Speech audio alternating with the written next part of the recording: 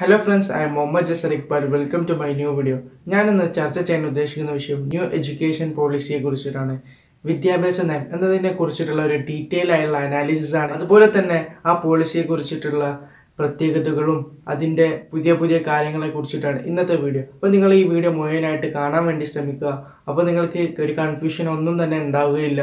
മറിച്ച് നിങ്ങൾ പകുതി വെച്ച് നിൽക്കുകയാണെങ്കിൽ ഇതിനെക്കുറിച്ചുള്ള കുറേ കൺഫ്യൂഷൻസ് ഉണ്ടാവാൻ സാധ്യതയുണ്ട്. അപ്പോൾ നിങ്ങൾ മുഴുവനായിട്ട് കാണാൻ വേണ്ടി നിങ്ങൾ ശ്രമിക്കും നമ്മൾ ഇതുവരെ ഫോളോ ചെയ്തിരുന്നത് മുപ്പത്തിനാല് വർഷമായിട്ട് നമ്മൾ ഫോളോ ചെയ്തത്. അതിൽ നിന്ന് കുറേ ബേസിക് ആയുള്ള മാറ്റങ്ങൾ വരുന്നിട്ടാണ് ഈ പുതിയ പോളിസി യഥാർത്ഥത്തിൽ എഡ്യൂക്കേഷൻ എന്ന് പറഞ്ഞു കഴിഞ്ഞാൽ എജുക്കോ എന്ന വേർഡിൽ നിന്നാണ് എഡ്യൂക്കേഷൻ വന്നത്. എഡ്യൂക്കോ പറഞ്ഞു കഴിഞ്ഞാൽ ഒരു ഗ്രീറ്റ് വേർഡാണ് അതിൽ നിന്നാണ് എഡ്യൂക്കേഷൻ വന്നത്. എഡ്യൂക്കേഷന്റെ യഥാർത്ഥ അർത്ഥം പറഞ്ഞു കഴിഞ്ഞാൽ to bring out the ability ഒരു വിദ്യാർത്ഥിയിൽ നിന്നുള്ള അല്ലെങ്കിൽ ഒരു കുട്ടിയിൽ നിന്നുള്ള കഴിവുകളെ പുറത്തേക്ക് കൊണ്ടുവരാനാണ് ഒരു എഡ്യൂക്കേഷനെ കൊണ്ട് ലക്ഷ്യം വെക്കുന്നത്. അങ്ങനെയാണോ എഡ്യൂക്കേഷൻ ഒരു കുട്ടിയിൽ നിന്നുള്ള കഴിവുകളെ പുറത്തേക്ക് കൊണ്ടുവരുന്നതിനാണ് എഡ്യൂക്കേഷൻ എന്ന വാക്കിന്റെ അർത്ഥം. നമുക്കറിയാം ഈ ഇന്ത്യയിൽ ഏറ്റവും കൂടുതൽ പോപ്പുലേഷൻ ഉണ്ട് അതുപോലെ തന്നെ യൂത്ത് പോപ്പുലേഷൻ ഉണ്ട്. അപ്പോൾ നല്ലൊരു എഡ്യൂക്കേഷൻ സിസ്റ്റം നമ്മളെ മുന്നിലുണ്ടെങ്കിൽ അതിനെയൊക്കെ നമുക്ക് യൂട്ടിലൈസ് ചെയ്യാൻ കഴിയുള്ളൂ. ഇന്ത്യയ്ക്ക് ഈ ലോകത്തൊരു നോളജ് സൂപ്പർ പവർ ആണെങ്കിൽ പ്രധാനമായും കുറേ പില്ലേഴ്സ് ആവശ്യമാണ്. നമുക്ക് ഫോർ എക്സാമ്പിൾ നമ്മുടെ ക്വാളിറ്റി ഓഫ് എഡ്യൂക്കേഷൻ നമുക്ക് ഇമ്പ്രൂവ് ചെയ്യണം ഇന്നോവേഷൻസ് കൊണ്ടുവരണം അതുപോലെ തന്നെ റിസർച്ചിൽ വമ്പ ഡെവലപ്മെന്റ് വരണം. ഇങ്ങനെ കുറേ എഡ്യൂക്കേഷൻ ഫീൽഡിൽ കുറേ ഡെവലപ്മെന്റ് ഇനിയും എന്താണ് ആവശ്യമാണ്. അപ്പോൾ ഈ പുതിയ പോളിസിയെ കുറിച്ചിട്ടുള്ള അത് ഇതിനെ എത്രത്തോളം ബാധിക്കുന്നുണ്ട് എന്നും ഇങ്ങനെയുള്ള ഒരു ഡീറ്റെയിൽ ആയുള്ള അനാലിസിസ് ആണ് ഇന്നത്തെ വീഡിയോയിൽ ഞാൻ നിങ്ങളുമായി ഷെയർ ചെയ്യാൻ ഉദ്ദേശിക്കുന്നത്. നമുക്കറിയാം നമ്മൾ മുപ്പത്തിനാല് വർഷമായിട്ട് നമ്മൾ ഫോളോ ചെയ്തിരുന്ന മിഷന്റെ പോളിസി ആയിരുന്നു. അതിൽ നിന്ന് കുറച്ച് വ്യത്യസ്തമായിട്ടാണ് പുതിയ പോളിസി നമ്മൾ ചെയ്ത ഒരു സിസ്റ്റം പറഞ്ഞു കഴിഞ്ഞാൽ നമ്മൾ സ്കൂൾ സിസ്റ്റത്തിൽ നമ്മൾ വെച്ച് നോക്കുകയാണെങ്കിൽ നമ്മൾ ഫോളോ ചെയ്തിരുന്നത് ഒരു ടെൻ പ്ലസ് ടു പറഞ്ഞുള്ള സിസ്റ്റമായിരുന്നു നമ്മൾ മെയിനായിട്ട് ഒന്നാം ക്ലാസ് മുതൽ പന്ത്രണ്ടാം ക്ലാസ് വരെ അഥവാ അഞ്ച് വയസ്സ് മുതൽ പതിനെട്ട് വയസ്സ് വരെയുള്ള ഒരു വിദ്യാഭ്യാസമായിരുന്നു. അപ്പോൾ ഈ പുതിയ സിസ്റ്റത്തിൽ എന്താണെന്ന് വെച്ച് കഴിഞ്ഞാൽ നമ്മൾ അംഗൻവാടി നഴ്സറിയുള്ള കാലഘട്ടവും ഇതിൽ ഉൾപ്പെടും.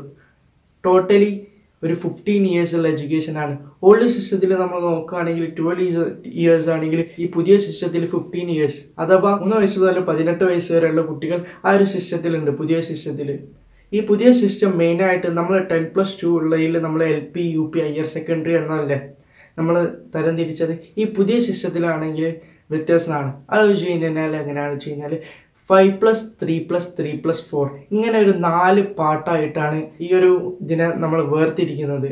ഈ കാര്യങ്ങൾ ഈ five plus three plus three plus four നമ്മൾ ഡീറ്റെയിൽ ആയിട്ട് നമ്മൾ വിലയിരുത്തും. അതിന് മുന്നേ തന്നെ ഈ പോളിസിയുടെ മെയിൻ ആയിട്ടുള്ള ഹൈലൈറ്റ്സ് എന്ന് വെച്ച് കഴിഞ്ഞാൽ ഈ മൂന്ന് വയസ്സ് മുതലുള്ള വിദ്യാഭ്യാസം തുടങ്ങും. അതുപോലെ തന്നെ വൊക്കേഷണൽ ട്രെയിനിങ് ഇതിൽ ലഭ്യമാണ്. അതുപോലെ തന്നെ അഞ്ചാം ക്ലാസ് വരെ നമുക്ക് മദർ ടങ്കിൽ നമുക്ക് പഠിക്കാൻ സാധിക്കും.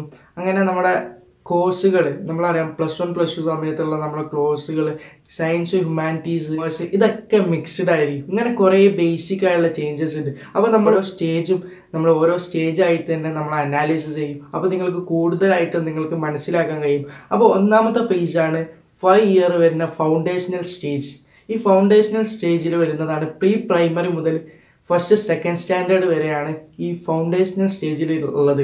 ഫൗണ്ടേഷൻ സ്റ്റേജിൽ മെയിൻ ആയിട്ടുള്ള വയസ്സ് മുതൽ എട്ട് വയസ്സ് വരെ. ഈ ഫൗണ്ടേഷൻ സ്റ്റേജിലുള്ള പ്രധാനമായിട്ടുള്ള കാര്യം എന്താണെന്ന് വെച്ചാൽ കഴിഞ്ഞാൽ അത് കൂടുതലായിട്ടും ആക്ടിവിറ്റി ബേസ്ഡുള്ള സ്റ്റഡീസ് ആയിരിക്കും. സ്പോർട്സ് റിലേറ്റഡ് ആയിട്ടുള്ള. അങ്ങനെ എഡ്യൂക്കേഷന്റെ ഒരു പ്രഷർ നമ്മൾ പഠിത്തത്തിനോടുള്ള ഒരു പ്രഷർ കുറച്ചിട്ട് ഒരു ആക്ടിവിറ്റി ബേസ്ഡുള്ള സ്റ്റഡീസാണ് ഈ ന്യൂ പോളിസിയിലുള്ളത് ഇതാണ് ഫൗണ്ടേഷൻ സ്റ്റേജിൽ വരുന്നത്.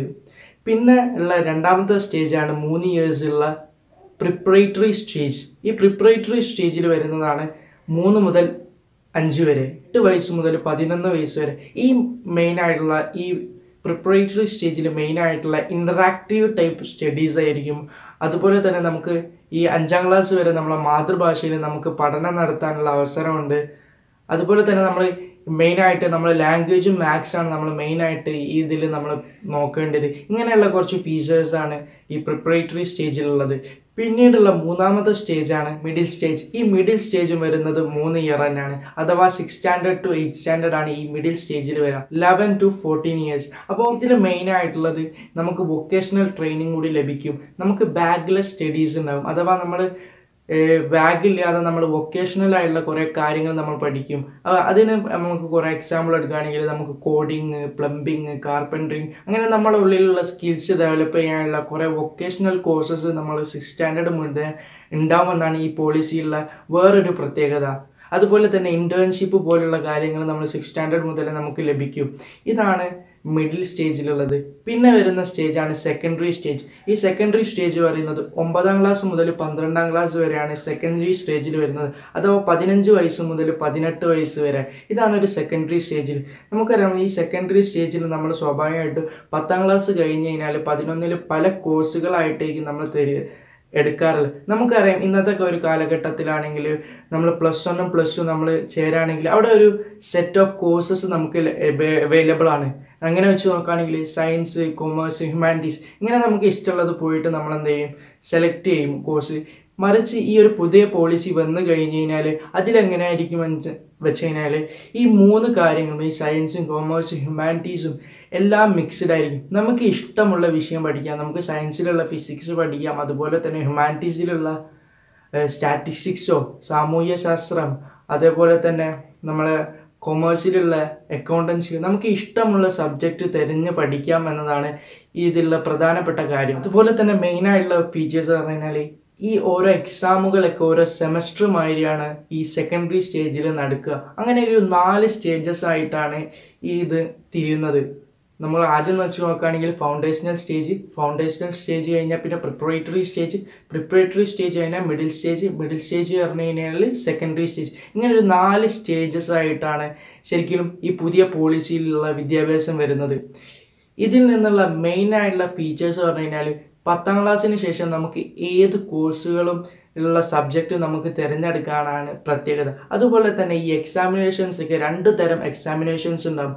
ഒബ്ജക്റ്റീവ് ഉണ്ടാവും ഡിസ്ക്രിപ്റ്റീവുമാണ് നമുക്കറിയാം ഇന്നത്തെ കാലത്ത് ഒരു റിപ്പോർട്ട് കാർഡ് നമ്മൾ ഓപ്പൺ ഹൗസ് ഒക്കെ പറയുന്ന ഒരു റിപ്പോർട്ട് കാർഡ് കൊടുക്കുന്ന സമയത്ത് മെയിനായിട്ട് അതിലുണ്ടാവുക എന്താണ്? മാർക്കുകളാണ്. ഓരോ സബ്ജക്റ്റിലുള്ള മാർക്ക്.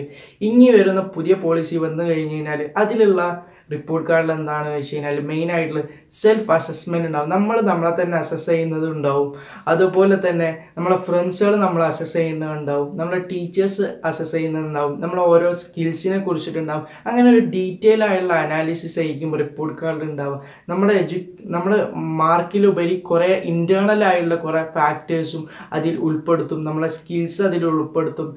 നമ്മുടെ പേഴ്സണാലിറ്റി അതിൽ ഉൾപ്പെടുത്തും. അങ്ങനെ കുറേ കാര്യങ്ങൾ ഈ റിപ്പോർട്ട് കാർഡിൽ ഉണ്ടാകും ഇതാണ് വേറൊരു വലിയൊരു പ്രത്യേകത. പിന്നെ ഈ റിപ്പോർട്ട് കാർഡിനൊക്കെ ആയിട്ട് തന്നെ ഒരു അക്കാഡമിക് ബാങ്ക് ഓഫ് ക്രെഡിറ്റ് ഉണ്ടാകും ഇങ്ങനത്തെ ഒരു ഫീച്ചേഴ്സ് ആണ് നമുക്ക് ഈ സ്കൂൾ ലെവലിൽ നമുക്ക് കാണാൻ കഴിയും. അതുപോലെ തന്നെ നമുക്ക് അഞ്ചാം ക്ലാസ് വരെ നമ്മളെ മദർ ടങ്ങിൽ നമുക്ക് എന്ത് ചെയ്യാം? മീഡിയം ഓഫ് എഡ്യൂക്കേഷൻ ആയിട്ട് നമുക്ക് എടുക്കാം. അങ്ങനെ നമുക്ക് കുറേ മാറ്റങ്ങളാണ് ഈ പുതിയ പോളിസിയിൽ നമുക്ക് കാണാൻ കഴിയുന്നത്. ഇതൊരു സ്കൂൾ ലെവലിലുള്ള മാറ്റങ്ങൾ മാത്രമാണ് ഞാൻ ചർച്ച ചെയ്തത്. ഇനി നമ്മൾ കോളേജ് ലെവലിലേക്ക് പോകുകയാണെങ്കിൽ തന്നെ അതിലും കുറേ മാറ്റങ്ങൾ വരുന്നുണ്ട്. അതിലൊന്നാമത് മാറ്റം എന്തെന്ന് വെച്ച് കഴിഞ്ഞാൽ എല്ലാ കോളേജുകളും ഒട്ടോണമസ് ആവും എന്നതാണ്. നമുക്കറിയാം നമ്മൾ ബാച്ചിലർ ഡിഗ്രി പറയുന്നത് മൂന്ന് ഇയർ ആണ്. ഇനി ഈ പുതിയ പോളിസിയിൽ പറയുന്നത് ത്രീ ടു ഫോർ ഒരു നാല് ഇയർ ആണ് ബാച്ചിലർ ഡിഗ്രി ആയിട്ട് മാറുക. അതുപോലെ തന്നെ M A M S C ഒക്കെ ഒരു വൺ ഇയർ ആയിട്ട് എന്ത് ചെയ്യും? മാറും. നമുക്കറിയാം B S C four years ആണ് അപ്പോൾ നമുക്ക് മൾട്ടിപ്പിൾ എൻട്രി ആൻഡ് എക്സിറ്റ് ആണ് ഇതിൽ അവർ പറയുന്ന മെയിൻ ആയിട്ടുള്ള കാര്യം. അത് വെച്ച് കഴിഞ്ഞാൽ നമുക്ക് ഏത് സമയത്തും കോളേജ് നിർത്താം. അതുപോലെ തന്നെ നമുക്ക് റീജോയിൻ ചെയ്യാം. ഇപ്പോൾ ഒരു കുട്ടി രണ്ട് കൊല്ലം കോളേജ് പഠിച്ചു. ഇന്നത്തെ ഒരു അവസ്ഥയിലാണെങ്കിൽ അവന്റെ സമയം അവന്റെ എല്ലാ പഠിച്ച കാര്യങ്ങളും ഫീസും ഒക്കെ വേസ്റ്റാണ് അവനെ അവിടെ ഡ്രോപ്പ് ഔട്ട് ആയി കഴിഞ്ഞാൽ പിന്നെ അവന് പഠിക്കാനുള്ള ചാൻസ് ഇല്ല. ഇനിയുള്ള പുതിയ പോളിസിയിൽ പറയുന്നതെന്ന് വെച്ച് കഴിഞ്ഞാൽ നമ്മൾ ഒരു കൊല്ലം പഠിച്ച് നിർത്തി കഴിഞ്ഞാൽ അവിടെ വൺ ഇയർ സർട്ടിഫിക്കറ്റ് കിട്ടും. ഇപ്പോൾ രണ്ട് കൊല്ലം പഠിച്ചു കഴിഞ്ഞാൽ നമുക്ക് ഡിപ്ലോമ സർട്ടിഫിക്കറ്റ് കിട്ടും. മൂന്ന് കൊല്ലം പഠിച്ചു കഴിഞ്ഞ് കഴിഞ്ഞാൽ അവിടെ നമുക്ക് ഡിഗ്രി സർട്ടിഫിക്കറ്റ് കിട്ടും. നാല് കൊല്ലം നമ്മൾ പഠിച്ചു കഴിഞ്ഞ് കഴിഞ്ഞാൽ അവിടെ ഡിഗ്രി ബാച്ചിലർ ഓഫ് റിസർച്ചിന്റെ സർട്ടിഫിക്കറ്റ് നമുക്ക് കിട്ടും. ഇങ്ങനെ നാല് കൊല്ലം കംപ്ലീറ്റ് ആയാൽ നമുക്ക് പൂർണ ഡിഗ്രീന്റെ എന്താ ചെയ്യുക? സർട്ടിഫിക്കറ്റ് ലഭിക്കുക. ഇങ്ങനെ കുറേ കാര്യങ്ങളാണ് ഈ പോളിസിയിൽ നമുക്ക് കാണാൻ കഴിയുന്നത്. അതുപോലെ തന്നെ നൂറ് വിദേശ യൂണിവേഴ്സിറ്റിയിൽ ഇന്ത്യയിൽ തുടങ്ങാനുള്ള അംഗീകാരം കൊടുക്കുന്നതാണ് ഈ പോളിസിയിൽ പറയുന്നത്. അതുപോലെ തന്നെ നമ്മുടെ ഈ ഇവിടുത്തുള്ള യൂണിവേഴ്സിറ്റിന്റെ സ്റ്റാൻഡേർഡും അതിനോടൊപ്പം തന്നെ ഉയരുകയും ചെയ്യും. അങ്ങനെ നമ്മൾ വിദ്യാഭ്യാസത്തിൽ കുറേ മാറ്റങ്ങൾ ഈ പോളിസിയിൽ നമുക്ക് കാണാൻ കഴിയും. അതുപോലെ തന്നെ ഞാൻ പറയാൻ വിട്ടുപോയ ഒരു കാര്യമാണ്. ഈ സബ്ജക്റ്റുകൾ നമ്മൾ കോളേജിൽ എടുക്കുമ്പോൾ നമുക്ക് രണ്ട് സബ്ജക്റ്റ് എടുക്കാം. മേജർ ആയിട്ടുള്ള സബ്ജക്റ്റ് എടുക്കാം. ഇപ്പോൾ ഞാനൊരു ബി എസ് സി ഫിസിക്സ് എടുക്കുകയാണെങ്കിൽ എനിക്ക് അതായിരിക്കും എന്റെ മേജർ ആയിട്ടുള്ള സബ്ജക്റ്റ് അതുപോലെ തന്നെ എനിക്ക് മൈനർ ആയിട്ടുള്ള സബ്ജക്റ്റ് ഡാൻസിങ്ങോ ഫ്ലൂട്ടോ തബല നമ്മുടെ സ്കിൽസിനെ ഡെവലപ്പ് ചെയ്ത് ചെയ്യുന്ന എക്സ്ട്രാ കരിക്കുലർ ആക്ടിവിറ്റിയും നമുക്ക് മൈനർ സബ്ജക്റ്റ് ആയിട്ട് നമുക്ക് എടുക്കാൻ കഴിയുമെന്നാണ് ഇതിലുള്ള ഒരു പ്രത്യേകത. അതുപോലെ തന്നെ എല്ലാ കാര്യങ്ങളും സിംഗിൾ സെൻട്രലൈസ്ഡ് റെഗുലേഷന്റെ അടിയിൽ വരും. U G C A I C T N I C ഈ മൂന്ന് കാര്യങ്ങളും ഒരു സിംഗിൾ സെൻട്രലൈസ്ഡ് റെഗുലേഷന്റെ അണ്ടറിൽ അത് ഹയർ എഡ്യൂക്കേഷൻ കമ്മീഷണർ ഓഫ് ഇന്ത്യന്റെ അണ്ടറിലായിട്ട് ഇത് വരും. എക്സെപ്റ്റ് ലോ ആൻഡ് മെഡിക്കൽ ഈ രണ്ട് കാര്യങ്ങൾ എക്സെപ്റ്റ് ചെയ്തിട്ട് ബാക്കി എല്ലാ കാര്യങ്ങളും ഒരൊറ്റ സെൻട്രലൈസ്ഡ് റെഗുലേഷന്റെ അണ്ടറിലായിരിക്കും വരാം. അതുപോലെ തന്നെ നമുക്ക് ടീച്ചർ ആവണമെങ്കിൽ നമ്മൾ ഡിഗ്രി കഴിഞ്ഞിട്ട് ബി എഡ് അങ്ങനെയൊക്കെയല്ല ചെയ്യാം? അതിന് പകരം ഇന്റഗ്രേറ്റഡ് ആയിട്ടുള്ള കോഴ്സുകൾ നമുക്ക് ലഭ്യമാവും. ഇങ്ങനെ കുറേ ഫീച്ചേഴ്സാണ് പുതിയ പോളിസിയിലുള്ളത് നമുക്കറിയാം ഈ പുതിയ പോളിസിയിൽ അതിന്റേതായുള്ള ചലഞ്ചസും ഉണ്ട്. പ്രധാനമായിട്ടും ഇതിന്റെ ചലഞ്ചസ് പറഞ്ഞു കഴിഞ്ഞാൽ ഇപ്പോൾ ഈ ഒരു കറണ്ട് പോളിസിയിൽ നിന്ന് ഈ പുതിയ പോളിസി ഇംപ്ലിമെന്റ് ചെയ്യാവുന്ന വലിയൊരു ചലഞ്ച് അപ്പോൾ ഈ ഒരു ഓൾഡ് സിസ്റ്റത്തിൽ നിന്ന് ഈ പുതിയ സിസ്റ്റം ഉണ്ടെങ്കിൽ അതിന് കുറേ ഒരു ടൈം ഡിലേ എടുക്കും. ഇതിൽ പറയുന്നത് എന്താ വെച്ച് കഴിഞ്ഞാൽ ഒരു ടെൻ ഇയർ ടൈം ലൈനൊക്കെ കൊടുക്ക കൊടുക്കുന്നത്. ഓരോ കാര്യത്തിനും ഓരോ ടൈം ലൈൻ ഉണ്ട്. അത് പെട്ടെന്ന് തന്നെ അത് നടപ്പിലാവില്ല സാവധാനം സാവധാനമേ ഈ പോളിസി എന്താവുകയുള്ളൂ നടപ്പിലാവുകയുള്ളൂ. ഇതിനൊരു കുറേ കൊല്ലത്ത് എന്തുണ്ട്? ടൈം ലൈൻ ഉണ്ട്. അതിനനുസരിച്ചിട്ട് ഈ പോളിസി എന്താവുകയുള്ളൂ പ്രാബല്യത്തിലാവുകയുള്ളൂ. അപ്പോൾ ഇന്ന് നിങ്ങളുമായി ഞാൻ ഷെയർ ചെയ്തത് ഈ ന്യൂ എഡ്യൂക്കേഷൻ പോളിസിയെ കുറിച്ചിട്ടുള്ള ഒരു ഡീറ്റെയിൽ ആയുള്ള അനാലിസിസ് ആണ്. അതുകൊണ്ട് തന്നെ നിങ്ങൾ എല്ലാവർക്കും ഈ വീഡിയോ ഷെയർ ചെയ്ത് കൊടുക്കുക. അവർക്ക് തീർച്ചയായും ഈ വീഡിയോ ഉപകാരപ്പെടും. അതുപോലെ തന്നെ എന്റെ ചാനലിലുള്ള ഈ വീഡിയോ ആദ്യമായി കാണുന്നവരാണെങ്കിൽ അടുത്തുള്ള സബ്സ്ക്രൈബ് ബട്ടണും അടുത്തുള്ള ബെല്ലൈക്കോണും കൂടി ഇനാബിൾ ചെയ്ത് കഴിഞ്ഞാൽ ഞാൻ അപ്ലോഡ് ചെയ്യുന്ന പുതിയ പുതിയ വീഡിയോസ് നിങ്ങൾക്ക് നോട്ടിഫിക്കേഷൻ ആയിട്ട് ലഭിക്കും. അതുപോലെ തന്നെ എന്റെ വീഡിയോ ഇഷ്ടപ്പെട്ട് കഴിഞ്ഞ് കഴിഞ്ഞാൽ നിങ്ങൾ ലൈക്ക് ചെയ്യാൻ മറക്കരുത്. ലൈക്ക് ചെയ്യുക. ഇനി ഒരു നല്ല വീഡിയോയുമായി വീണ്ടും കാണാൻ ഞാൻ മുഹമ്മദ് ജസർ ഇക്ബാൽ. താങ്ക്